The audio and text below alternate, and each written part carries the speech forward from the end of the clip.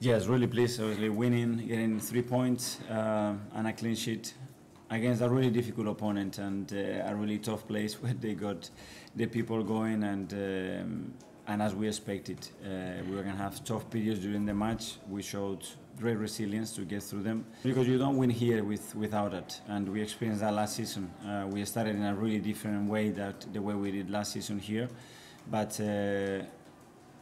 Building that mentality and uh, and finding a way to go through those moments and finding a way to maintain clean sheets in this league is going to be vital for our success and we have managed to do that. So hopefully that will build some confidence as well in the team